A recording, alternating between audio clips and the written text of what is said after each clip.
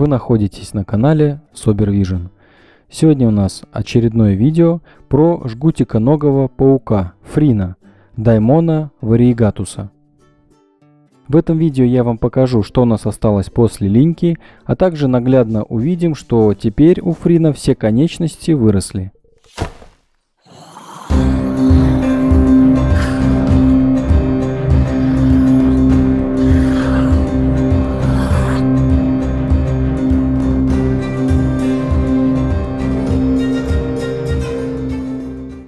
В начале видео я хотел бы немножко прокомментировать то шуточное видео, которое вышло недавно. Все, кто понял, что это шутка и сразу начал об этом активно писать в комментариях, а, те все правильно поняли. Действительно, это видео имело цель всего лишь э, создать положительные у вас эмоции, немножко посмеяться над теми трендами, которые у нас сейчас в топе есть. Ну, а ребята, те, кто не понял, что это шутка и отреагировал отрицательно, вы отреагировали правильно. Потому что как еще можно отреагировать на говно-контент? Но хочу вас убедить, это действительно была шутка. Никакой рекламы в этом видео не было. Все роли исполнял я. Поэтому все, кто не понял, что это была шутка, отнеситесь к этому как к приколу и серьезно это видео не воспринимайте.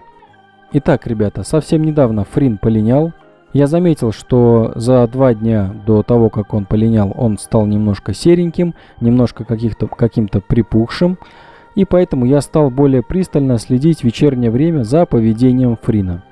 Но, ребята, я не смог уследить за тем, как он полиняет, к сожалению, у меня нет такого хорошего оборудования, чтобы снять э, детально линьку Фрина.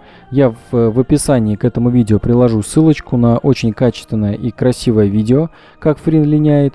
Ну а у меня произошло следующее. Итак, одним из поздних вечеров я подошел к террариуму и увидел, что мой фрин уже полинял. Поэтому хвататься за телефон и снимать было поздно, не стал я его травмировать, лишний раз создавать ему стресс, потому что именно во время линьки э, они еще не защищены своим крепким верхним слоем, и поэтому они достаточно пугливые, и мне не хотелось доставлять ему лишний стресс. В общем, он закрепился сверху вот этой вот коряшки, которой, принципе, я для этого и ставил, она немножко загибается. В общем-то, логично, что он выбрал именно вот это место. А сам сидел снизу, уже весь беленький, а, и с утра уже я увидел, что шкурка от него лежала внизу.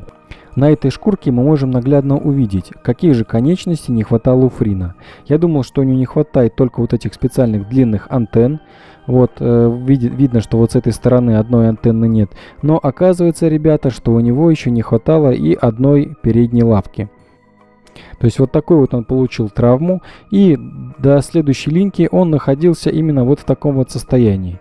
То есть у него не было передней э, лапки и не было уса одного. В общем, так он нормально, в принципе, питался.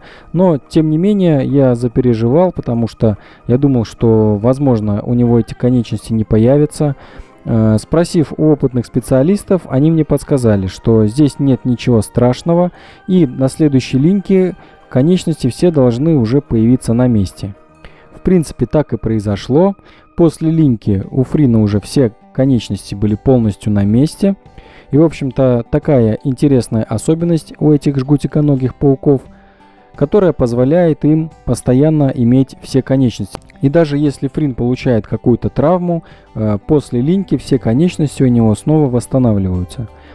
Кормлю я его сейчас примерно раз в неделю большими туркменскими тараканами, даю я их придавленными, ест он неплохо, в основном сейчас я увлажняю только субстрат, туда я заселил калембл и макричек, которые помогают избавляться от различных остатков еды. Я думаю, он практически достиг уже максимальных размеров, а, но посмотрим следующую линьку. Я постараюсь сохранить до следующей линьки вот эту вот шкурку, которая от него осталась. И можно будет сравнить наглядно, а, действительно ли он увеличится в размерах или он уже останется а, таким, каким он есть. Всем спасибо за просмотр, не забывайте подписаться на канал и до новых встреч, ребята. Всем пока-пока.